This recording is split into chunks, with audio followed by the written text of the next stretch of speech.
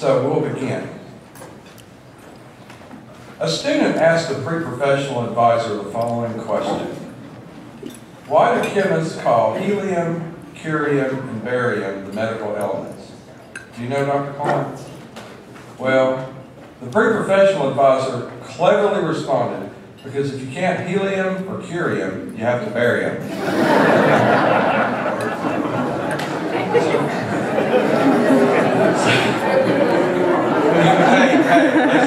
listen. You might as well get used to it. My jokes are corny. But they're short. Tonight, 64 students will be recognized in the form of scholarships, achievements, and awards worth over $45,000. Few departments find themselves in such favor.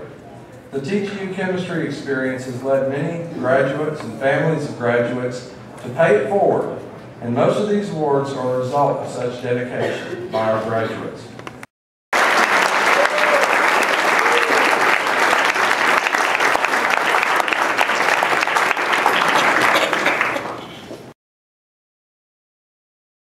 Gentlemen, we have Dr. Swartling, Dr. Northrup, Mr. Uh, Collins, and they all are members of choirs in, the, uh, churches uh, locally. Um, I'm not, but I made up the solution, so that's why I.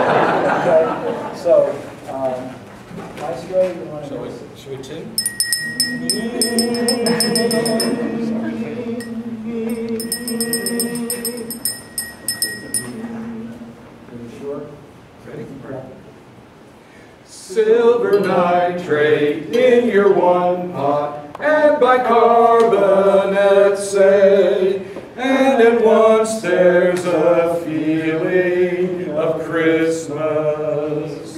Now hydroxide, then some chloride, changing tea into milk. In the beaker you have curds and whey.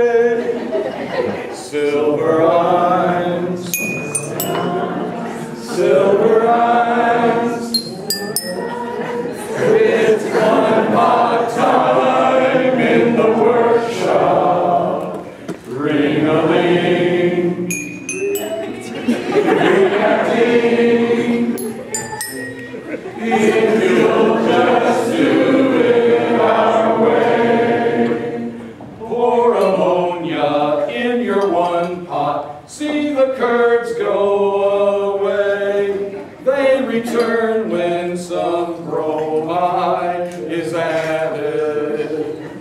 Get the hypo from the dark room.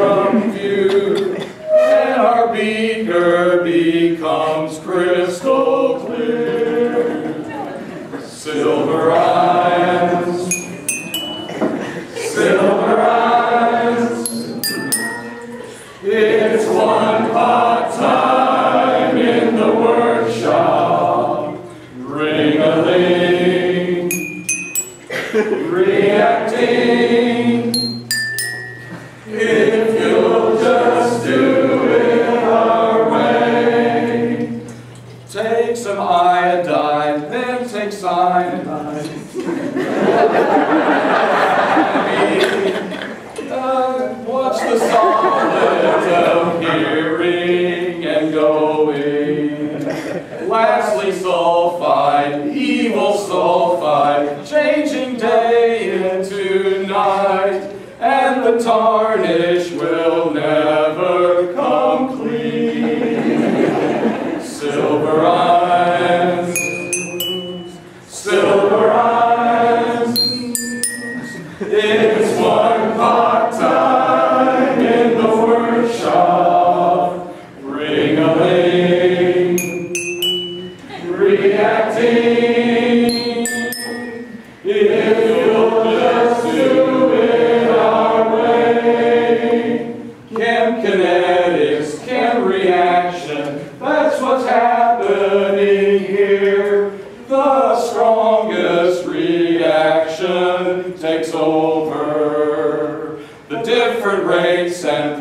The and depend on what's come before. When it's right, the reaction will go.